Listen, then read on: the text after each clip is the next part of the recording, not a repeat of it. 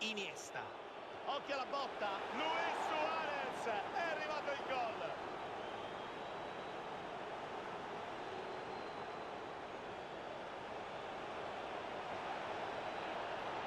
E c'è dunque il gol del